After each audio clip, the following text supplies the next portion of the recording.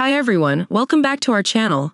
Do you like to highlight your mouse pointer like this? In today's tutorial, we'll help you achieve it. Highlighting the mouse cursor can enhance recorded Windows video tutorials or live presentations. It makes the pointer clearer to follow for those watching your videos or viewing your desktop during screen sharing. Let's get started by installing the necessary tool. First, go to the Microsoft Store. Search for Microsoft PowerToys and install it.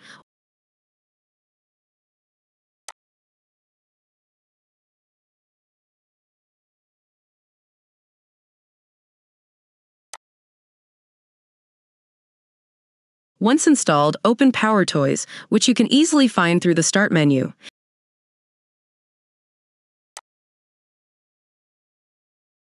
In PowerToys, click the Mouse Utilities tab.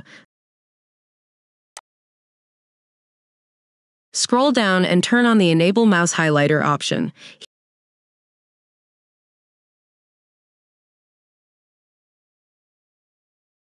Here, you can choose the activation shortcut keys. The default one is the Windows logo key plus Shift plus H to customize PowerToy's cursor highlighting, click Appearance and Behavior to view further options. You can then click the primary or secondary button boxes to bring up palettes from which to select different colors. Click the Radius option to select a different size value for the circle. Finally, press the Windows logo key plus Shift plus H hotkey to activate the highlighter. And that's it. You now know how to highlight your mouse pointer in Windows using Microsoft PowerToys. This feature will make your tutorials and presentations much more engaging and easier to follow. If you found this video helpful, please give it a thumbs up and subscribe for more tech tutorials. Thanks for watching.